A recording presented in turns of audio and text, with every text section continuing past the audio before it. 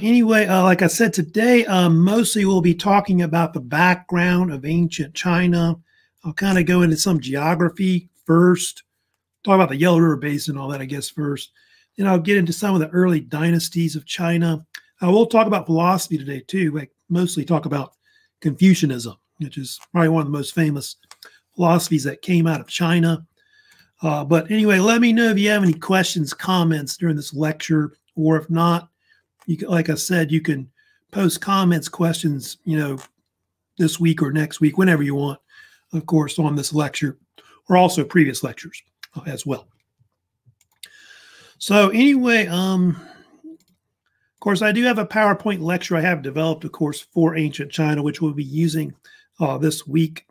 Uh, so um, mostly I will first talk about geography, a little bit uh, about ancient China, uh, not just like the important rivers and all that, but just the region around China, which uh, ancient China developed uh, in um, East Asia. That would be about where it was.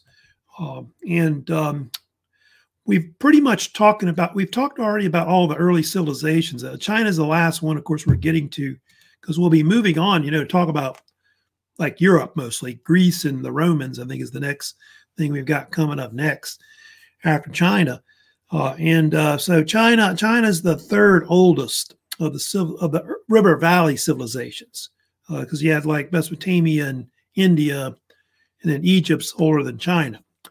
And um, so it developed in East Asia, like I said. Uh, it's based around what is the Yellow River Valley, uh, which uh, I can show you kind of a map of where it is. It's um, kind of located mostly China developed uh, predominantly between like um, central China here and the East China Sea here. So like basically about right here is about where ancient China first started. That area you're looking at where I'm circling around is often called the um, they call it the uh, East they call it the um, North China Plain is what people dub it, which I just had that up there second ago. Yeah, North China Plain it's an area that's kind of between the Yellow River and the Yangtze River, and uh, it's a very fertile plain area, Eastern Asia. It's where they start growing crops, like during Neolithic times. Uh, and so from there, you have all these different dynasties that would emerge there. You know, a lot of their cities were built there uh, as well. And uh, China developed early on into like kingdoms ruled by kings, uh, like you see like in other places. And um, of course, the Yellow River is one of several famous rivers in Asia that are well known. Uh, the two most famous are probably the Yangtze and the Yellow River, which are the two longest uh, overall. Uh, the Yellow River is also called the Wang, I think it's pronounced Wang Ho. How they say it uh, in China. Second longest river in the world. I believe it's about 3,400 miles long, something like that. I think the uh, Yangtze is 3,900. So they're relatively similar length. Uh, but the yellow's more important. The yellow uh, is like the mother river of China. It's where basically where a lot of the Chinese civilization started in China. A lot of their major cities were kind of first built there. It's also like where China started in the um, old Stone Age or Paleolithic Age. Um, I think I remember maybe talking a long time ago about um, remember I mentioned about Peking man was this like uh, early human fossil that was found in China.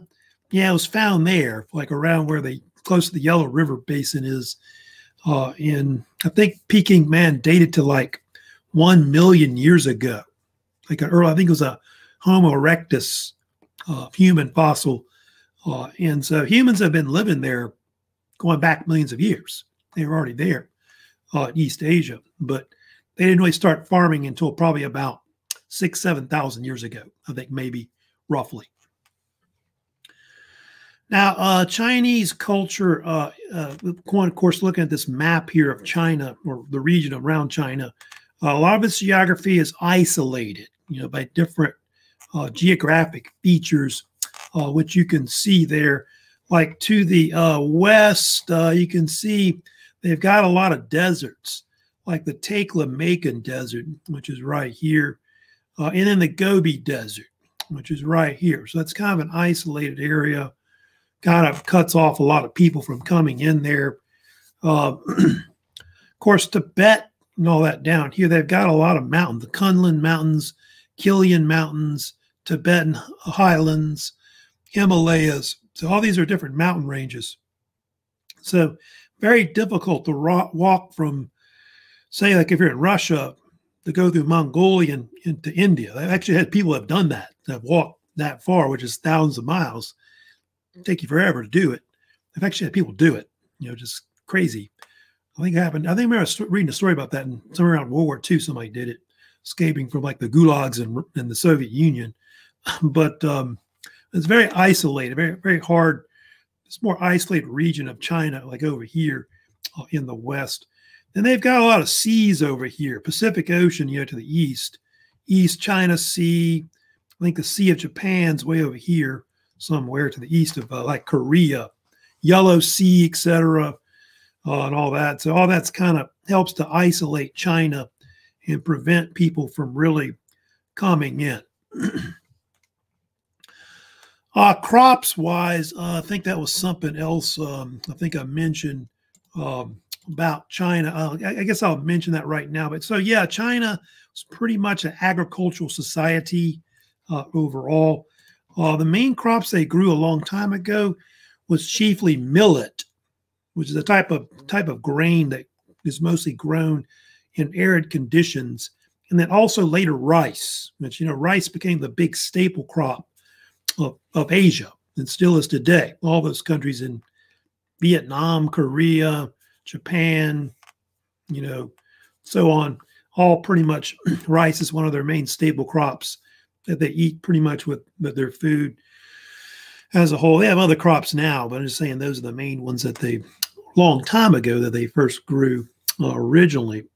and um, so China, China will eventually become come out of isolation. You know, it's isolated at least up to the, I guess, the Qin dynasty, like they were saying, but by the Han Dynasty, it starts to kind of become more of a, a, a civilization that's more open to the world and even trades with Europe, like with the Roman Empire in the future.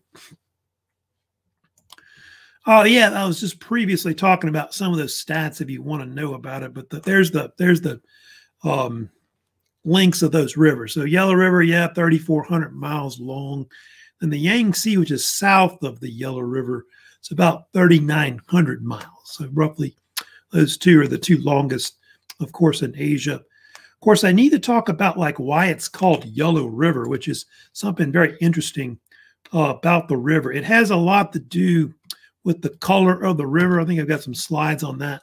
If you want to look at it.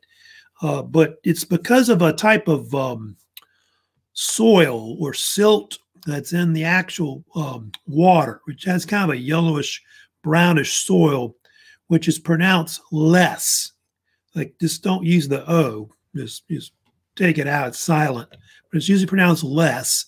Uh, and um, I think it's arose from like the mountains and gets into the river basin.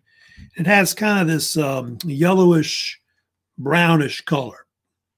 Uh, and it, I guess it's kind of used as like a silt to fertilize the crops uh, and all that and um, I think it has like um, what was the stuff in it? It's got calcium carbonate in it, supposedly, uh, which is like a type of rock, or it comes from type. It's a type of mineral from rocks uh, that erodes down into uh, the water, and um, then of course there's another story they have, of course, about the um, Yellow River. Is it does have a nickname. They call it sometimes in modern times China's Sorrow. Also has another nickname too, Scourge of the Sons of Han. They call it that too, as well. And uh, a lot of it's due to um, uh, really bad floods that they've had in modern times, which have killed a lot of people in China. Uh, there was two big floods I know they had. One in 1887 that killed like somewhere between one to two million people. That's a lot. Uh, and then there was one in uh, 1931 that killed two to four million people. I don't know the exact number. That's crazy. Uh, and I think that one in 1931, the 1931 flood was the worst natural disaster in human history. that killed that many people. So that's why they call it China's sorrow. They, of course, started to dam the river and things like that. You can see this. You can see they even developed terrace farming uh, and use of dikes as well for irrigation along the river. So, anyways, kind of talking about some of the you know geography of China uh, and all of that. Oh yeah, there's one more thing I wanted to talk about China that's well known that I've got on the bottom there was of course about you know Chinese inventions and all. That's something that the Chinese, of course, are kind of well known for uh, overall. And um, yeah, they're known for a lot of different things they've invented uh, over the years. Of course, those are the most famous. I've got like a, a slide on that I can show you if you want. There's all kinds of things that the Chinese have kind of invented. Uh, but the ones I've got on that banner pretty much are the most, probably most famous. Like paper making, you know, is a big thing of the Chinese. Uh, paper making and printing and calligraphy, um, use of ink, uh, those kind of things are kind of well known. Compass, which I think developed later, something that they, of course, created, which I think Marco Polo brought to Europe. Uh, the crossbow, it's developed in the Iron Age. Uh, of course, gunpowder. That's something that the Chinese are very well known for. You know, gunpowder, uh, fireworks, um, which came from, of course, the use of gunpowder. I think they may have helped develop types of gunpowder weapons, like different bombs and cannon from that. Uh, silk, of course, they're famous for developing the silkworm, um, iron plow, you know, uh, porcelain. There's all kinds of things that the Chinese invented. The, the the noodle, probably the donut. I think you know you could probably think of a bunch of things. This one here has got like a bunch. I think if I could just move it like right here, you don't know if you can see that or not. Uh, but uh, those are just different things that they may have invented uh, at one point. So there's a lot of things that the Chinese invented uh, that's well known. Some of the first developed certain kinds of money, you know, and things like that uh, overall. So I was kind of talking about Chinese inventions. Uh, printing press, yeah, it's something that'll come west too. Like, you know, Johann Gutenberg develops the printing press in, in Europe and was kind of influenced by the Chinese, you know, to, of course, develop that. All right. Uh, of course, I'm going to move on, of course, next to talk about China's dynasties, which, you know, China's, of course, known for having numerous dynasties over a long period of time. Uh, we're talking like, I think like 3,600 years or more. Uh, China's had dynasties uh, at one point. It's kind of like a dynastic cycle of dynasties that have come and gone uh, over, over many years, uh, which uh, the Chinese, by the way, had more dynasties um, I think, you know, years long, I guess, more than Egypt. Egypt had like 3,000 years, I think, worth of dynasties. There's a little longer. In fact, the last emperor of China stepped down in 1912, just recently, 108 years ago. So it's just recently that the, you know, Chinese still had emperors uh, reigning over, of course, their empire. Uh, the Chinese did believe in this political theory you may have heard of. It's called Mandate of Heaven. You might have heard of it. May have looked it up before. Uh, the Chinese uh, name is uh, Tian Ming, which actually in Chinese means heaven's will. And uh, it's a type of political theory which has been sometimes compared to. You ever heard of Divine Right of Kings? It's like a um, European political theory about kings ruling because of God, put them in power. Well, they thought the same thing that the gods put them in power. Uh, however, the belief was that uh, it was because of the approval of God, that the God is ruling justly. He's a good ruler. And so the God will keep them in power, like a long time, in the dynasty a long time. Uh, however, if they're an unjust ruler, a bad ruler, that meant that God can replace them with one that will, you know, uphold whatever laws, etc. And so that's basically what what the mandate of heaven is. And it was later developed by this dynasty called the Zhou, Zhou dynasty. You see there, you know, the Zhou dynasty developed it. Because they were replacing this other dynasty and they were kind of trying to come up with, you know, why that other dynasty wasn't any good. and so that's why they developed it. So, hey, you're not keeping up the mandate of heaven, you know, the will of heaven or whatever. And so you got replaced, that kind of thing. Uh, the first two major uh, dynasties um, rule a long time, like like almost like 2,000 years, not quite, but almost, uh, which are the Shang and the Cho dynasty. They ruled, I had debates on when it is. I think it's 17th or 16th century when they started BC. And I think the Cho is around till like close to the third century. So yeah, they're they're around good, good, good bit, long, long time. Um, they think there were dynasties before that. There may have been one before it. I think it was called the Xia dynasty, XIA, but they're not sure much about it. So they may have had dynasties that went back to maybe before 2000 BC. They may have had kings ruling over China, but there's not much known about it originally. Of course, the one we're going to talk about first today uh, is the Shang dynasty.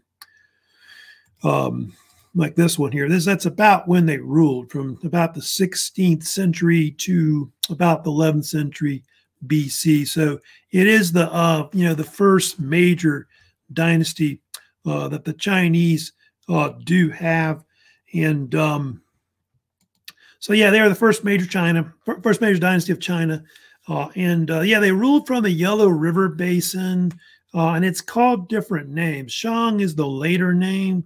Uh, the dynasties originally called by them, it was called Yin, uh, Y-I-N, and Yin was supposedly the name of their city or capital that they ruled from, was located around the Yellow River Basin. Uh, and um, but it had another name they call it, which is uh, the modern name, which is Anyang, A N Y A N G, uh, which is actually a modern city uh, in China today. Uh, China's had a multiple capitals, like at least, I think there's at least four or five major capitals they've had uh, throughout their history, but that was considered the most ancient or oldest uh, capital that originally ruled over China. The capital, the city now, not a capital anymore, Beijing is now the capital. The city now, it has like 5 million people living there. That's a lot of people, you know, for like a smaller city, I guess. Uh, but um, that's a small city in China, I guess. You know, China's got a lot of people. It's 1.3 or 1.4 billion uh, that live in China now, uh, and um,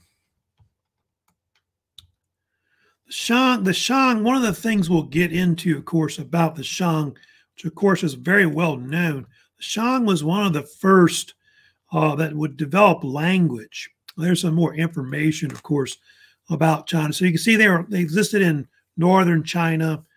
They did have a lot of rulers that ruled over China uh, at one point.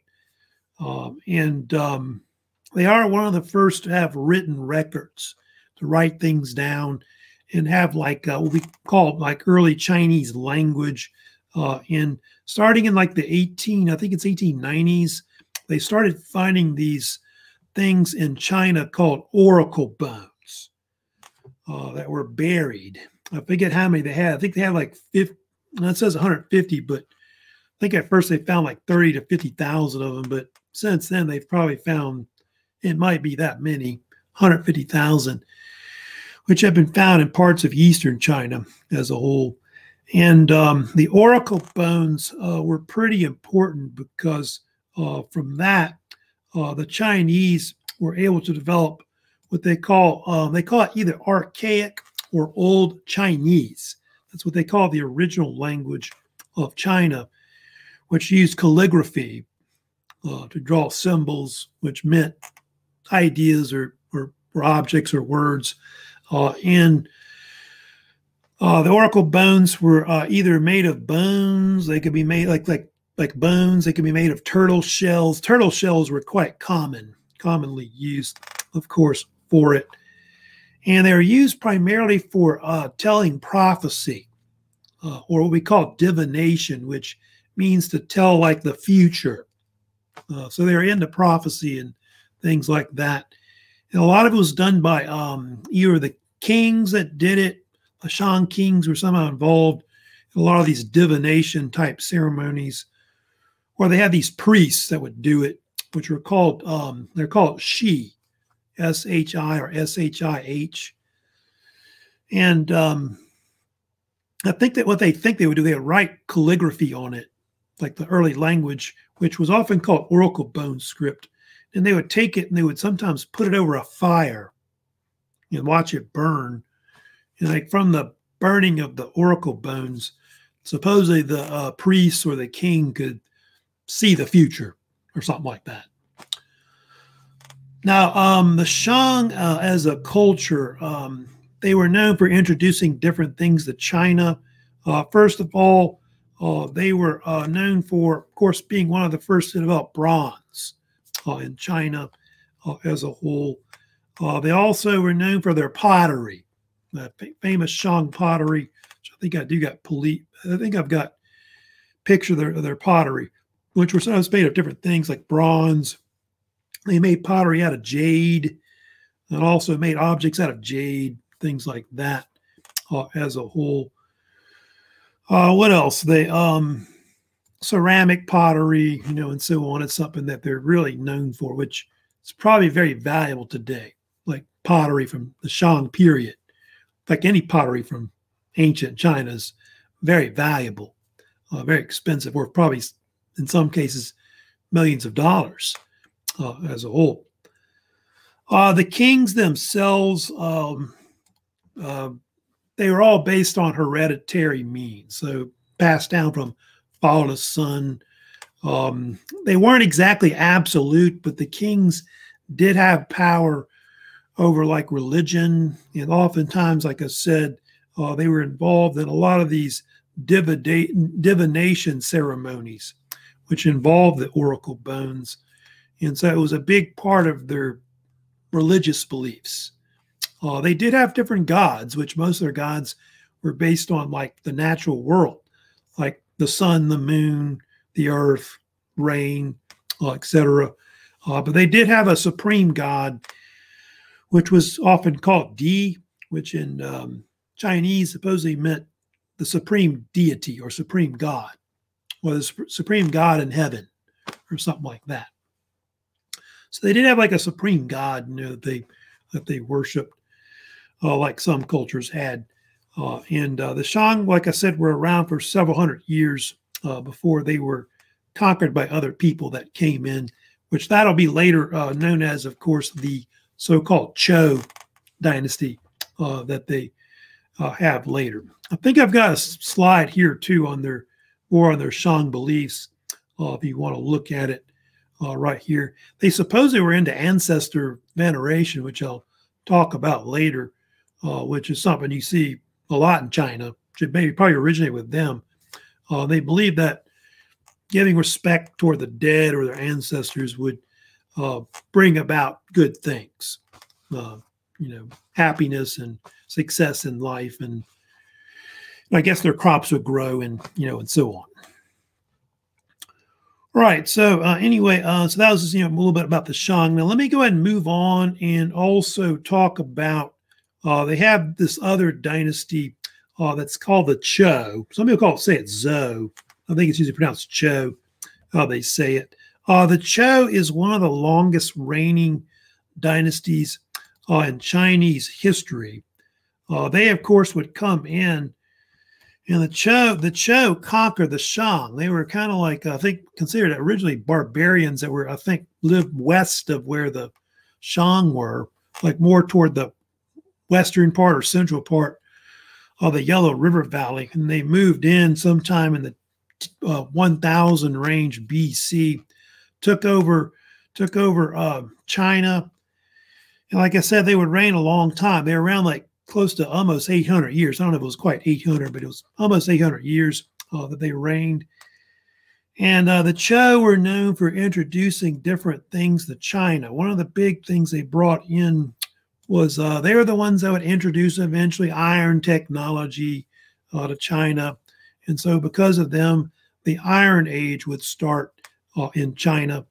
I talked about the crossbow originally, too, as a famous invention of the Chinese. People think of like medieval Europe, you know, because they used crossbows, but Chinese already had it. Uh, and uh, yeah, they invented the crossbow. The Zhou, one of the, of course, ones that did that uh, as well.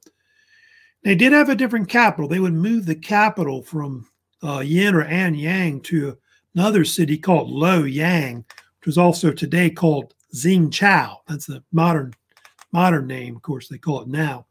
Uh, and that became another famous capital of China, uh, which is well known. And uh, it did have a family that founded it. They were called the Ji family, J I, the Ji family, which ruled over this dynasty for, I think, a few hundred years. And uh, they're the ones that actually developed the mandate of heaven. The Ji family created it uh, as a means to explain why they had seized power uh, over the um, Shang dynasty because uh, they weren't living up to the mandate of the God's will in heaven and so we replaced them. So that kind of thing.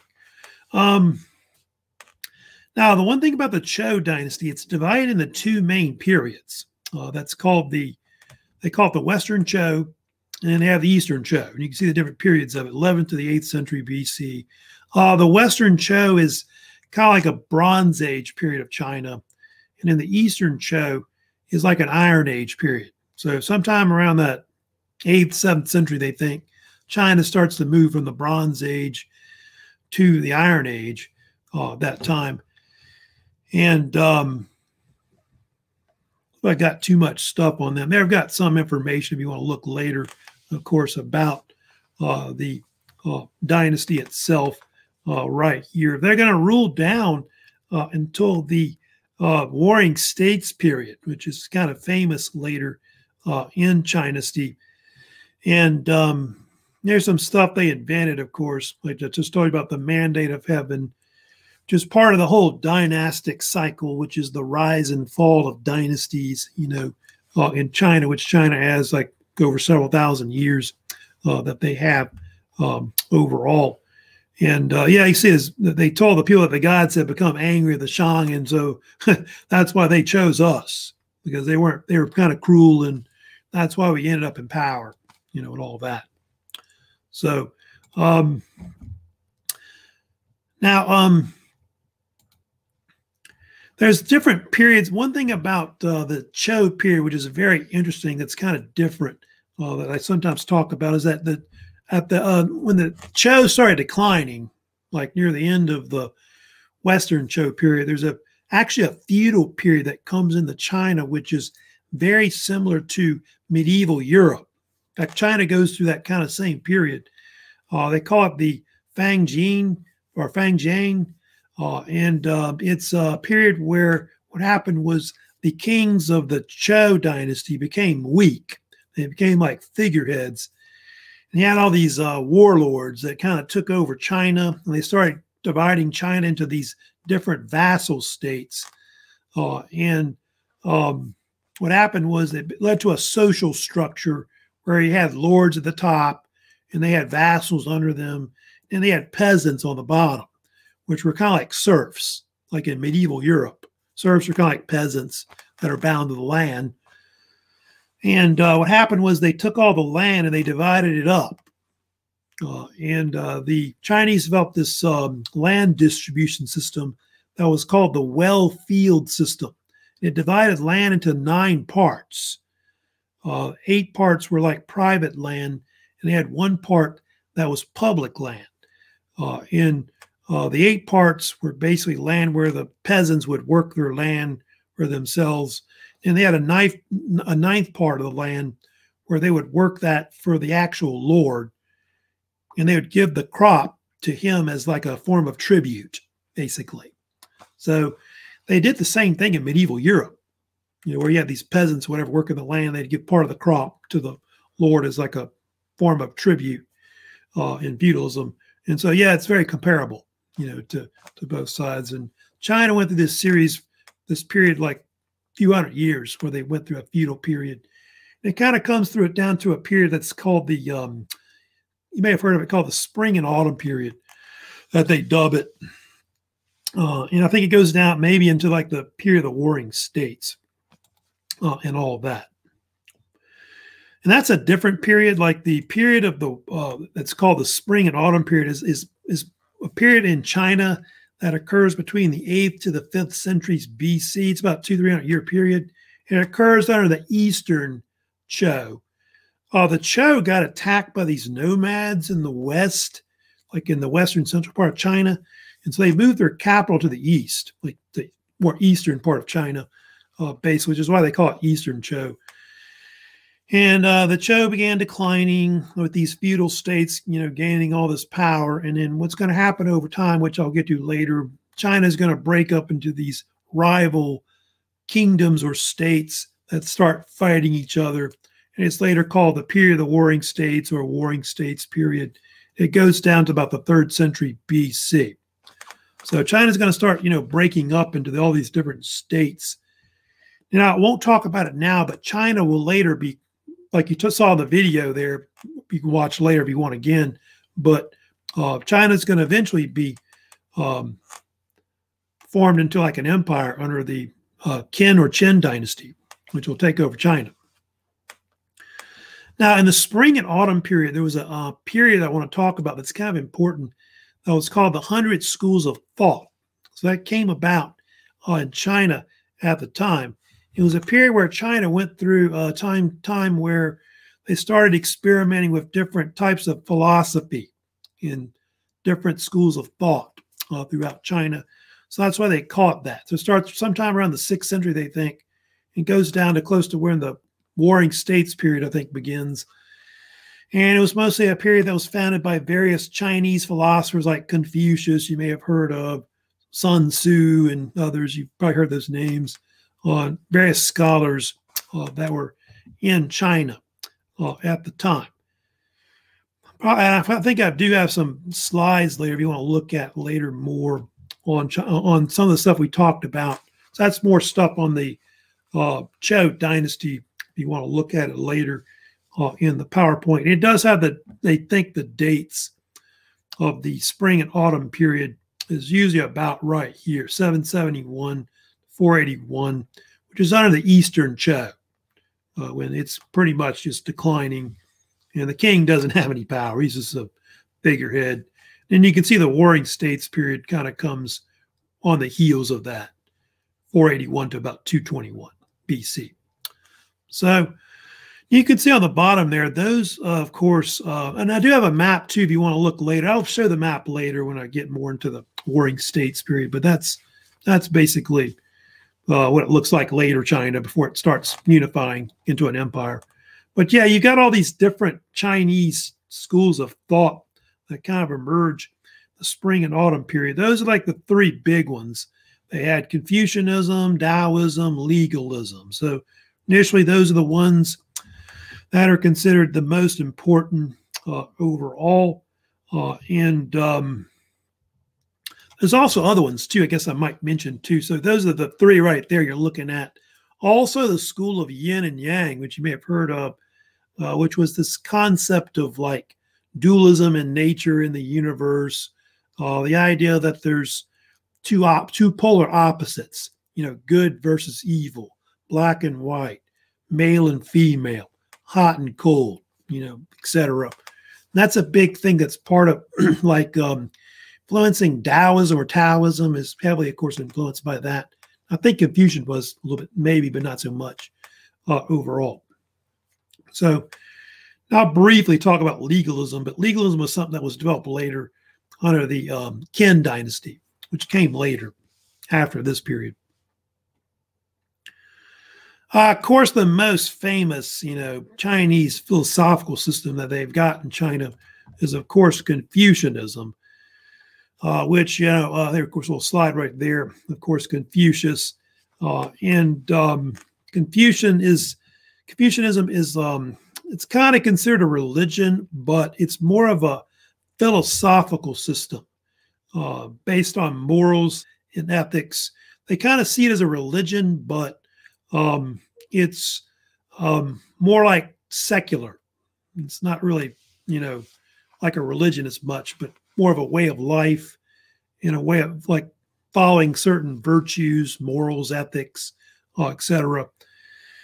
And uh, Confucius, uh, who founded it, lived uh, like 2,500 years ago.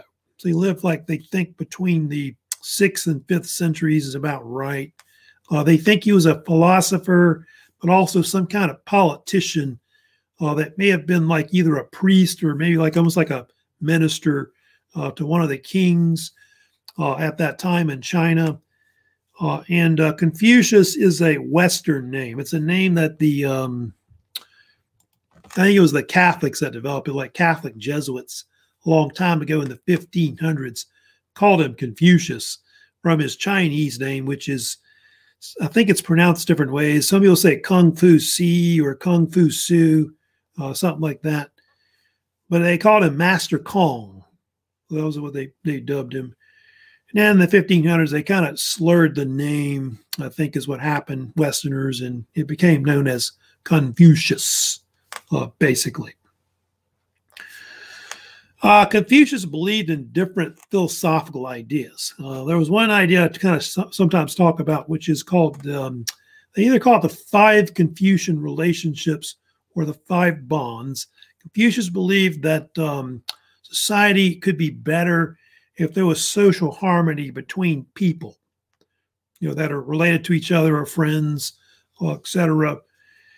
Uh, and uh, you know, you didn't want the sister marrying the brother and you know stuff like that. I guess is probably part of why they developed it uh, and so on. But it, it created better social order, uh, less anarchy, uh, and so um, of course these are very famous. Uh, the five Confucian relationships, which call it, I think in Asia, the five bonds. And uh, these are the five typically. Uh, usually, of course, the, the highest one is, of course, considered to be between the ruler and the subject. So the ruler should treat the subject a certain way. Usually, the one that's to the right is the one that should be subservient. So the subject should be subservient to the ruler, uh, pretty much. Follow the son. So the father treats the son a certain way. The son is subservient to the father. Husband treats the wife a certain way, and vice versa wife is subservient to the husband, elder brother to the younger brother. Uh, usually, the older brother is more respected because uh, he's older. Uh, friend to friend, also. And so, all these different relationships uh, develop uh, ways that create proper con- conduct among each other, which supposedly creates more of social stability, you know, overall it's still kind of like that in parts of Asia. They still kind of follow these ideas, especially in like Confucianism, Buddhism, etc. Uh, another idea that you see too uh, in um, Confucianism.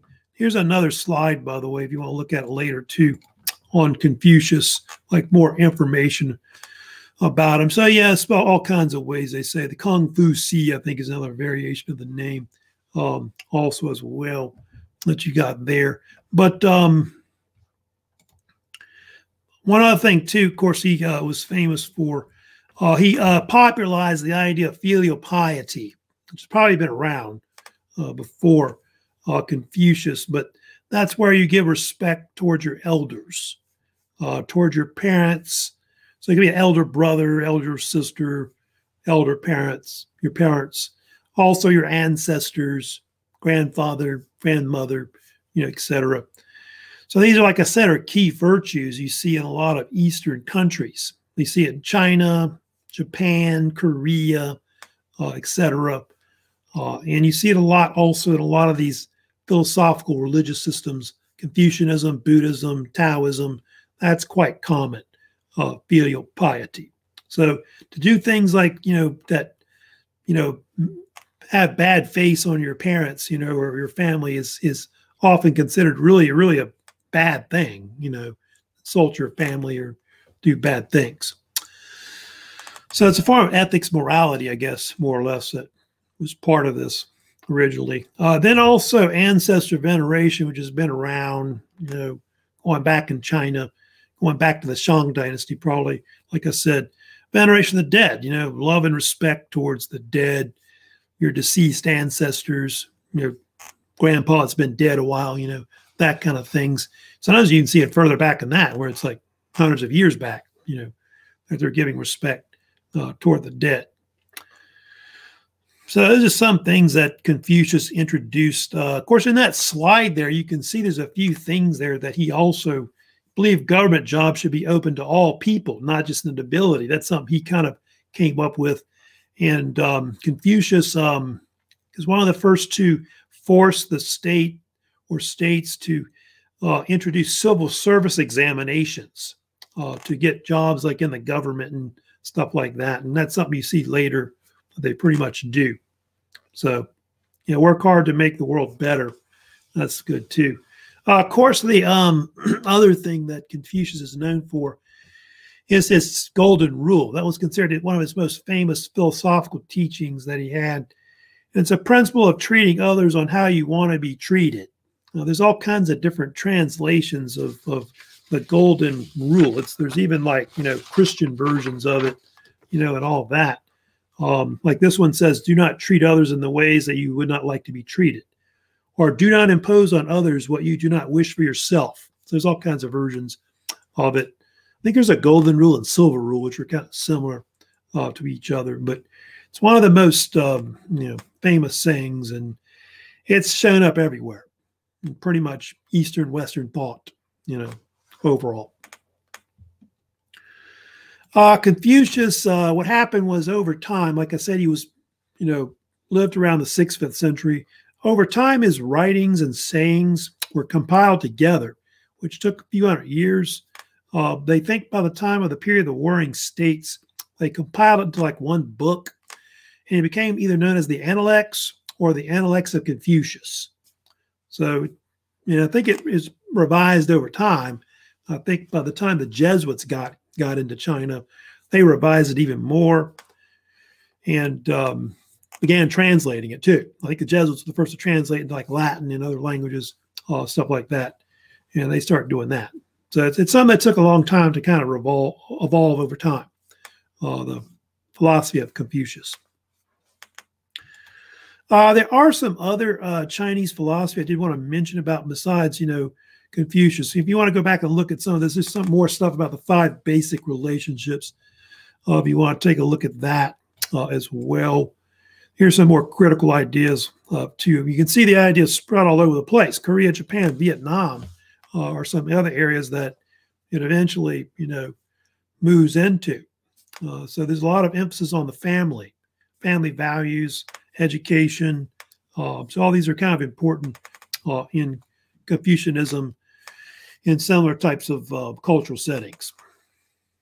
Uh, they also have Taoism or Taoism. I don't know if you ever heard of that one, uh, but it's a kind of a rival Chinese philosophy that came about uh, around the same time as Confucius lived. Uh, and um, got a little slide I'll put up here for you, but basically, yeah, it developed about fifth, sixth century BC, roughly. And it's a type of philosophical system of China in China that lived that emphasized living in harmony with what they call the Tao or Tao, which uh, was a term meaning the way, which uh, way meant either like a ro- road or a path that one would follow, uh, like in life. It kind of sounds like something the Buddhists developed as well.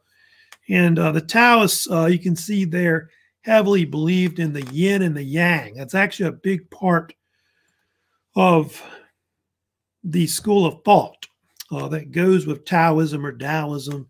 Uh, and it's this, like I said, this idea of cosmic dualism uh, in the universe or in nature, uh, where there's polar opposites good versus evil, um, cold versus hot, male versus female. Uh, and it's usually symbolized with that black and white symbol you see up there. And it did have a founder. They had a founder named Lao Tzu, who they sometimes call old master, uh, who they think was around the same time as Confucius was. Uh, and um, he developed a book um, of sayings like kind of like Confucius had, uh, which was called the Book of the Way, or also called Tao Te Ching. Uh, and that book became the basis of that philosophy system um, and still is today. So, yeah, and of course, here's a definition of what Tao is Tao is the natural order of the universe whose character one's human in- intuition must discern in order to realize the potential for individual wisdom. Kind of a long definition, but that's kind of a good definition. Of, but but it has something to do with the natural order of the universe and being in harmony with it. Uh, and um, it's different from Confucianism, uh, definitely for sure. So it's not quite the same. They're kind of parallel type philosophical systems, but I think the yin and the yang is something that kind of makes it, I think, different a little bit from Confucianism. I don't have a slide on that one, but like a like a you know PowerPoint slide. But uh, they also have later what they call legalism. I think I talk about it later under uh, the the Qin or Qin dynasty. But that's another type of Chinese philosophical system that was very popular uh, that they developed, which emphasized um, this idea of a powerful centralized type government where instead of like these feudal lords having power, uh, power was more in the hands of these uh, emperors that would control China uh, as an imperial type dynasty. Uh, and that's something you see a lot, uh, of course, in China later, uh, but it gets merged with other ideas like Confucianism, Taoism as well. Uh, although early on it wasn't very nice to Confucianism, uh, like in that little short video, they actually tried to prevent the spread of Confucianism for a while, uh, which is funny. Oh, one more thing I did want to mention about who's around the same time period. You probably heard of Sun Tzu. He was a famous Chinese general. Uh, lived close to the fifth century BC, kind of like close to the beginning of the uh, Warring States period. And um, he was a famous military strategist who wrote that book you've heard of called The Art of War. So that's a, also another thing that kind of happened during the so-called, you know, 100 schools of thought. You got these new ideas of military theories coming out. And his book, The Art of War, influenced a lot of people you know, with military strategy and war. So a lot of people have used that book. I think in business today, they even kind of adopted it as well. So of running business and so on.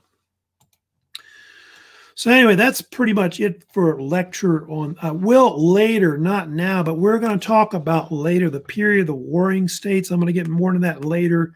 Uh, China's, of course, have broken up, and it's going to, of course, get back together uh, and, of course, form an empire under the so-called uh, Qin or Qin Qin dynasty. We'll talk about them later because uh, they're going to form the Chinese Empire at the end of the third century BC. But that'll be my lecture on Wednesday when I get more into the Chinese Empire.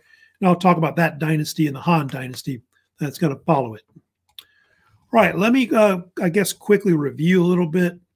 Uh, that's going to be it for today. I'll kind of go through some of the main stuff that we covered today, uh, of course, in class. So it says around what major river did the ancient China develop its early civilization? I'll tell you the Yellow River which is around 33 or 3,400 miles long, second longest river in Asia. So we talked about that one first uh, originally. Uh, what geographic features helped to isolate China as a culture? They were uh, they were isolated by mountain ranges, like to the west. You've got all these mountains, like the Tibetan highlands and Himalayas, the Kunlun Mountains, etc. You've got the Taklamakan Desert, the Gobi Desert, so all that kind of isolated China. Uh, into the east, you've got like um, you've got uh, like the Yellow Sea and East China Sea, Pacific Ocean. So all that isolates China and prevents people from really getting in there. Uh, what crops were mainly grown in ancient China? I told you millet originally, and then also rice came in later. Uh, how did the Yellow River get its name? Uh, it came from this um, yellowish brownish silt deposits, like soil deposits that are called loess that get in the river. And it kind of gives it a yellowish brownish color. It's also called the Huang Ho, of course, in Chinese. Uh, what is the nickname of the Yellow River? Why is it called that? It's called Yellow River. Well, what is the, the they're talking about the modern nickname of it, is what it really should be. Uh, they call it China's sorrow due to all the massive floods uh, that have killed people in China uh, over the years. Like the worst one I told you, I think, was in um, 1931, which killed like three or four million people. Uh, what are some inventions, technologies the Chinese are famous for? I'll tell you a bunch of these. Uh, the compass, uh, silk, um, gunpowder, porcelain. Uh, they developed printing, paper, um, crossbow. Um, I guess the big ones I think I talked about. Uh, ink. Um, so they are known for all kinds of inventions that changed the world uh, overall. Probably printing press, you know, and gunpowder, probably the probably two biggest ones, and maybe even the compass. You want to talk about exploration later. Uh, dynastic cycles is the cycle of like decline and fall of dynasties, which you know China was kind of known for a lot, like 3,600 years of dynasties. And I told you that the political theory that was often um, something they invented was called the Mandate of Heaven or Tian Ming uh, which the Zhou dynasty developed on why dynasties rise and fall because of you know what God what God um, thinks of good versus bad dynasties. So basically, the will of heaven is what dictates who rules a dynasty or for kings. Uh, first major dynasty, of course, was the Shang dynasty, and they developed around a city called Yin, which the modern city is now called Anyang. Uh, what were oracle bones? Oracle bones were uh, these bones or turtle shells uh, that the Chinese used to develop early writing systems, uh, which we call either oracle, we either called it, well, they call it oracle bone script, but it led to what is um, old Chinese or archaic Chinese, same thing, which is like the first language they had in China. Uh, they were mostly used, oracle bones, for um, divination or prophecy, where kings or priests would use them to tell the future. And so from that, language developed uh, over time, and they developed the first calligraphy writing of their language. Uh, what second dynasty conquered Shang? Uh, that was the Zhou dynasty or Zhou. And the Zhou were the ones that um, introduced iron weapons to China, which led to the Iron Age. Uh, they brought in like the crossbow. Uh, and I told you the Zhou were the ones that developed the mandate of heaven, uh, political theory on why their dynasty and others later ruled. Uh, what was the feudal period of China? That was a period in China uh, where uh, China broke up into these um, uh, vassal states ruled by warlords. And it developed a system similar to medieval Europe, where they had a social order of lords, vassals, and peasants. I told you that in China they developed what they call the well field system, where the peasants and the lords shared land, and they had to give crops to the lord as a form of tribute. Uh, what happened after the Zhou declined uh, during the Eastern Zhou? Eastern Zhou, uh, they call it the spring and autumn period. And uh, the Zhou broke up into these like um, competing um, vassal states ruled by lords. And led to the um, period of the Warring States uh, that would come later. Uh, during what Chinese historical period did the hundred schools of thought begin? That was the spring and autumn period, uh, which would be also at the end of the Zhou period, which is the Eastern Zhou. Uh, and uh, that was a period in China where uh, different philosophical schools and um, philosophers emerged uh, to develop Chinese philosophy Examples were Confucianism, they had Taoism, legalism were the big ones. Also, I told you about the school of yin and yang, which was later kind of adopted and also Taoism. Uh, who was Confucius? Confucius was the greatest Chinese philosopher. He was a Chinese politician and is considered the founder of Confucianism, which developed about 2,500 years ago. Uh, what are some ideas he taught? Uh, Toji taught the idea of the five bonds or the five Confucian relationships, which he thought could better uh, Chinese society between relatives and other people to create create order, you know, in society.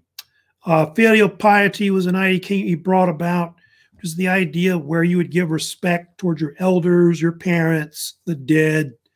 And an ancestor veneration is the belief in giving respect toward the dead, honoring the dead, uh, which is still done in the West too.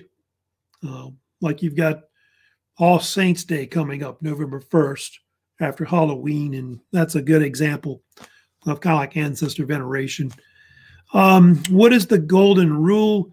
Uh, it was a type of teaching that Confucius taught, which is basically treat people how you want to be treated, uh, which I told you there's different versions of it, but do not impose on others what you do not wish for yourself, I think is one version of it.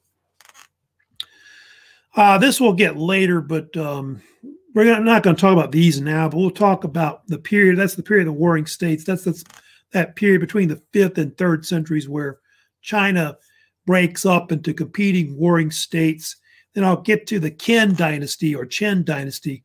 They're going to eventually come in and just basically conquer China and form the empire. So a lot of these slides, I'm going to, I think that's a repeat slide, which I can take out later, but uh, that's the bulk of the review material, of course, for that section we've covered today. So that's pretty much it uh, lecture-wise uh, today on ancient China.